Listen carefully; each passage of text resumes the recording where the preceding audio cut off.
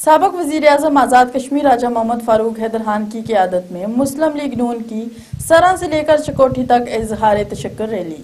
Rally में सैकड़ों की तादाद में कारकुना ने शिरकत सबक वजी अजम आज़ाद कश्मीर व मरकजी नायब सदर मुस्लिम लीग नून, राजा मोहम्मद फारूक हैदर खान की क्यादत में मुस्लिम लीग नून के कारकुनान की, सना से लेकर चिकोठी तक इजहार तशक्कर रैली। सैकड़ों की तादाद में मुस्लिम लीग नून के कारकुनान की शिरकत भरपूर नारेबाजी ढोल की थाप पर बंगड़े। जी नवाज़ शरीफ, जी फारूक हैदर के नारे इस मौका पर रैली से खिताब करते हुए राजा मोहम्मद फारूक हैदर खान ने कहा की जिला जेलम वैली के दोनों हल्कों से मुस्लिम लीग नून को तारीखी वोट मिले। कारकुनान ने मेहनत की, पैसे और लालच को मुस्तरद कर दिया। उन्होंने मजीद कहा कि अवाम ने नवाज़ शरीफ के नज़रिए पर अहतमाद का इजहार किया।